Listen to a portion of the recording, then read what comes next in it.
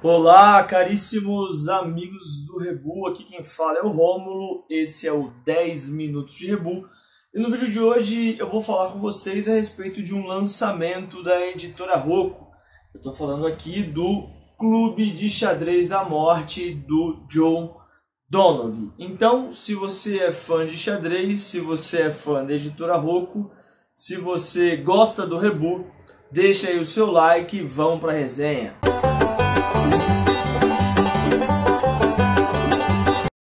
Muito bem, amigos. Então, do que é que fala essa obra aqui recém-lançada pela editora Rocco? Bom, a gente tem aqui em mãos um romance histórico infanto-juvenil.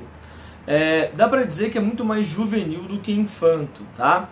O autor ele imagina aqui uma situação que não foi uma situação real, mas dentro de um contexto real, que é o contexto da Segunda Guerra Mundial, é, mais especificamente o campo de concentração de Auschwitz, né? É, bom, o autor então ele vai nos apresentar dois personagens em duas temporalidades distintas. A gente lendo a obra é levado pelo autor para 1966, quando a Segunda Guerra Mundial já acabou, e também para 1944, quando a Segunda Guerra Mundial estava é, prestes a acabar, né? Bom, é, os dois ambientes onde a narrativa se passa são a Holanda em 1966. O, um dos personagens, os dois personagens principais estão na Holanda. Eu estou falando aqui do Émile Clément, que é o judeu enxadrista que protagoniza o livro, e o Paul Meissner. Não é bem assim que se pronuncia o nome dele, porque ele é alemão. Eu não sei pronunciar o nome dele, mas esse personagem é um ex-SS, então um nazista que se tornou padre em 1966. Ele está livre, leve e solto, caminhando pela cidade da Holanda. E, bom, em 1944 esses dois personagens eles também é, se encontraram, né? Tanto o Emil quanto o Meissner. Eu vou chamar ele de Meissner mesmo sem saber pronunciar o nome desse cara direito. Então, é, mas ele se encontra em qual contexto? Esse Messner, ele é um oficial do exército alemão nazista e ele vem do fronte para Auschwitz para poder fazer com que o campo de concentração seja mais produtivo. E isso significava efetivamente explorar ainda mais a mão de obra escravizada dos judeus e exterminar ainda mais judeus.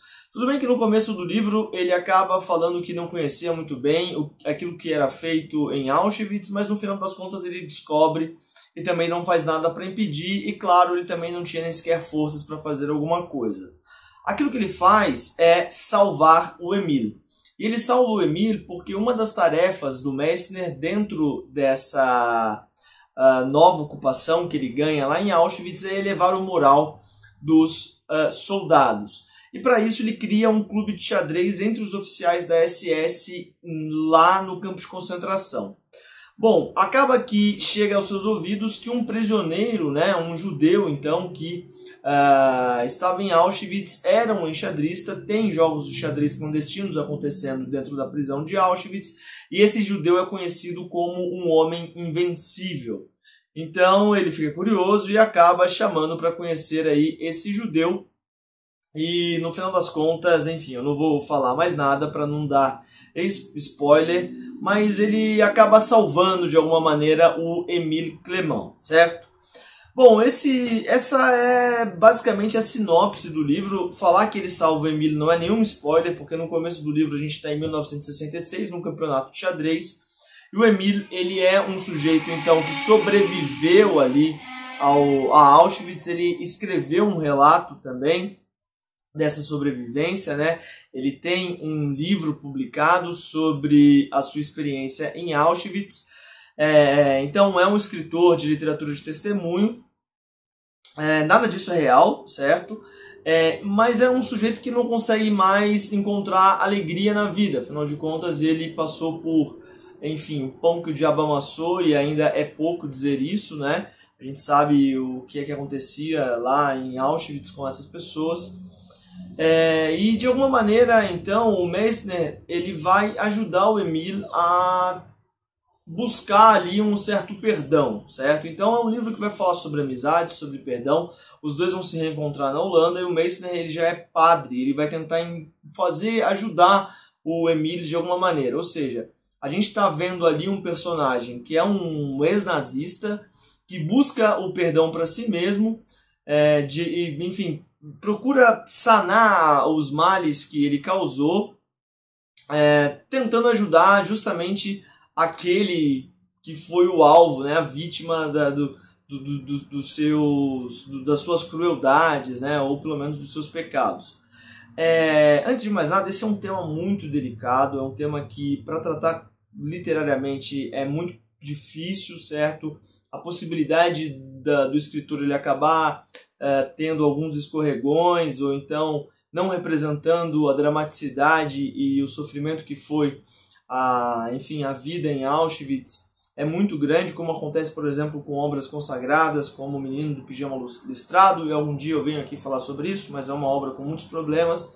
Aqui a gente não encontra esses problemas de suavização daquilo que foi o nazismo, certo? Na verdade, dá para perceber que o autor ele teve um, um, ele fez uma longa pesquisa e ele reproduz muito aqui daquilo que a gente encontra nos textos de literatura de testemunho como um todo, né? Vai, vai pro, pro, do, desde o Primo Levi, opa, até, enfim, uh, todos os outros, né?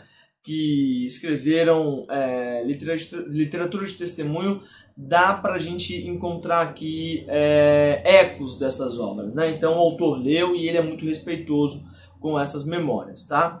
O livro, ele, como eu já falei, ele segue uma dinâmica de saltos temporais, então a gente vai de 44 para 66, 66 para 44, conhecendo o presente e o passado dos personagens.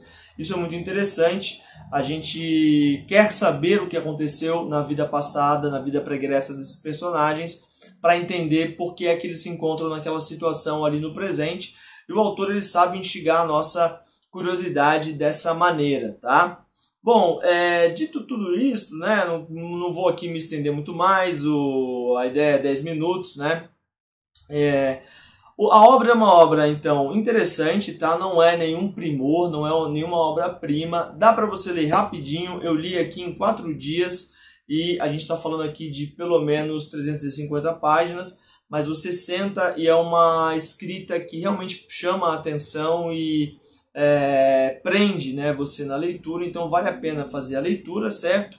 Eu só tenho, na verdade, uma única coisa para puxar a orelha aqui da editora Rocco e da tradutora. É, se eu não me engano, foi uma tradutora, não vou falar o nome, tá? Foi isso mesmo. Mas o livro ele tem todo o seu sua narrativa estruturada através do universo do xadrez. Então, a gente tem os capítulos com nome de aberturas e com nome, enfim, de grandes enxadristas. Como se trata de um romance histórico, aparecem personagens reais do xadrez, como Naidorf, que jogou a Olimpíada de 1936 na Alemanha nazista, o Naidorf era judeu. Enfim, todo o universo do xadrez estrutura a obra. E a tradutora, ela acaba é, traduzindo a peça mais importante do xadrez como rainha. Em inglês, essa obra foi uma obra escrita em inglês, a rainha, né, a rainha não, mas rainha é queen e queen é utilizado para designar a peça que em português se chama dama, certo? É, enfim, é uma coisa pequena, mas isso denota ali um certo trabalho do tradutor em pesquisar a nomenclatura específica do universo ao qual a obra pertence, que é o universo do xadrez. A gente está falando da vida de um enxadrista, de um, da vida de um homem que se salva da, enfim, da morte certa graças ao xadrez. Então eu acho que faltou um pouquinho assim de um trabalhinho, de uma pesquisa um pouco melhor para a tradutora, para enfim, não deixar essas coisas passarem, né? Ficar lendo toda hora, a rainha fez isso no tabuleiro, a rainha fez aquilo, o gambito da rainha e tal. Tá errado, tá? É dama, então traduz do jeito certo, pô. É, enfim, Puxão de Orelha à parte é uma obra bem legal, vale a pena ler. E é isso, tá legal, galera? Espero que vocês tenham gostado do vídeo. Procurem para ler aí o Clube de Xadrez da Morte, tenho certeza que vocês vão gostar muito.